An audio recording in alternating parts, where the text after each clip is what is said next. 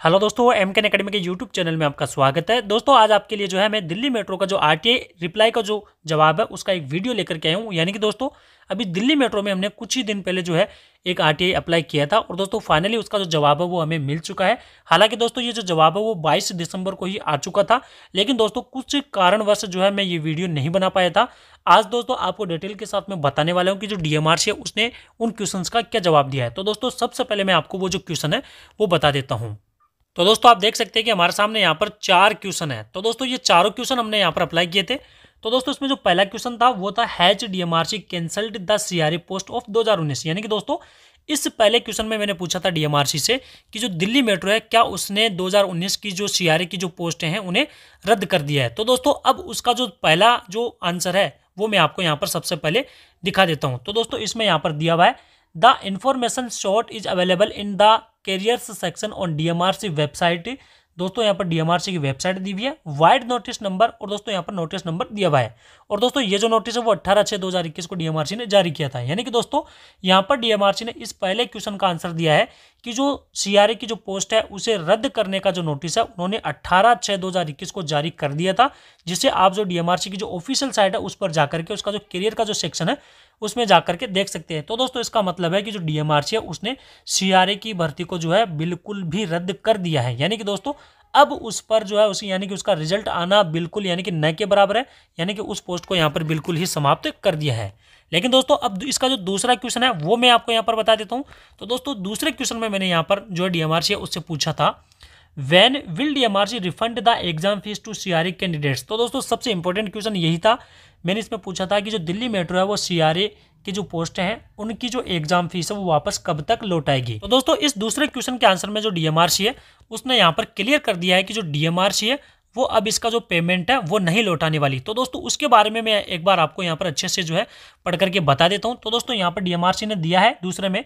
It was mention in the advertisement number DMRC 2019 यानी कि दोस्तों, यहाँ पर इस एडवर्टाइजमेंट का जो नंबर है, वो दिया हुआ है।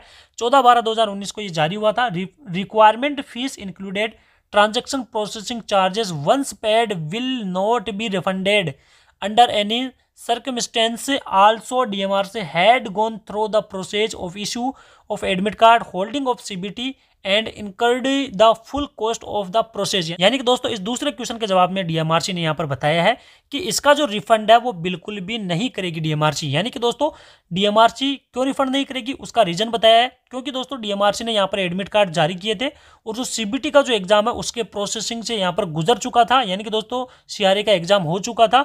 यानी कि इसमें जो है काफ़ी खर्चा भी आ चुका था यहाँ पर, दिया हुआ है। इसीलिए दोस्तों, यहाँ पर जो सारी प्रक्रिया हो गई थी, केवल इसका जो रिज़ल्ट है वही बाकी था।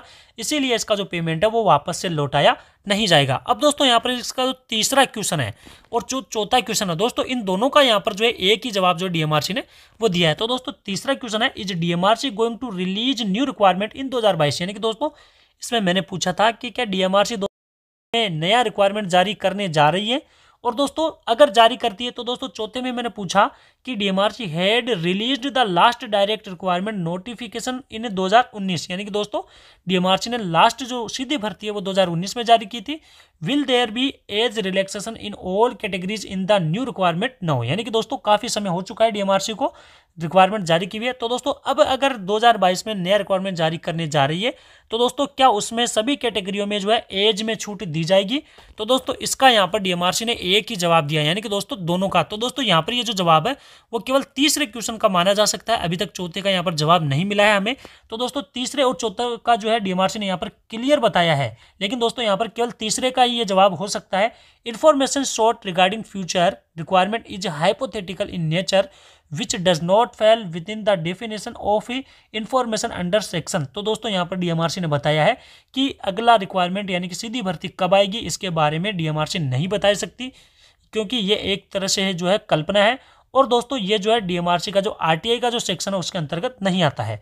लेकिन दोस्तों, जो एज रिलैक्सेशन का जो मैंने चौथे में पूछा था, उसका जवाब यहाँ पर बिल्कुल भी नहीं है। हो सकता है दोस्तों, जो डीएमआरसी उसने पिछली बार भी हमें एक ही आरटीआई के दो जवाब दिए थे तो दोस्तों, उसकी तरह भी यहाँ पर जो है चौथे क्वेश्चन के लिए अलग से जो है वो यहाँ पर जवाब जारी करे और दोस्तों, हो सकता है कि नहीं भी करे। लेकिन दोस्तों, फिर भी मैं बता देता हूँ कि यहाँ पर डीएमआरसी सीआरए का जो एग्ज़ाम फ़ीस है, वो रिफंड नहीं करेगी, क्योंकि दोस्तों, इसका सीबीटी का एग्ज़ाम हो चुका था और दोस्तों, यहाँ पर केवल इसका जो रिज़ल्ट है, वही बाकी था। इसीलिए यहाँ पर इसका जो एग्ज़ाम फ़ीस है, वो वापस से लौटाया नहीं जाएगा। और दोस्तों, नया रिक्वायरमेंट है, उसके बारे में मैं हर आई में डीएमआरसी से पूछता हूँ, लेकिन डीएमआरसी यही बताती है कि ये केवल और केवल हाइपोथेटिकल है, यानी कि दोस्तों, केवल कल्पना है, इसीलिए इसके बारे में नहीं बता सकते कि इसकी जो सीधी भर्ती है, वो कब तक आएगी। लेकिन दोस्तों डीएमआरसी से एक क्वेश्चन का जो आंसर का जो जवाब है, उसका इंतज़ार ज़रूर रहेगा, क्योंकि दोस्तों, उसमें मैंने यहाँ पर जो एज रिलैक्सेशन है, उसके बारे में पूछा था, और अभी तक उसका यहाँ पर जो जवाब है, वो क्लियर डीएमआरसी ने नहीं दिया है। तो दोस्तों, ये डीएमआरसी ने आरटीआई जो है मुझे रिप्लाई कर दिया था और इसका जो वीडियो है, वो आज मैं आपके लिए सामने लेकर के आया हूँ। तो दोस्तों, उम्मीद है ये जो वीडियो वो आपको काफ़ी पसंद आया होगा। अगर दोस्तों वीडियो पसंद आया है तो वीडियो को ज़्यादा से ज़्यादा लाइक करना है शेयर करना है। साथ ही दोस्तों, अगर चैनल पर पहली बार आएँ तो चैनल को सब्सक्राइब करें और बेलाइकन को दबाएँ।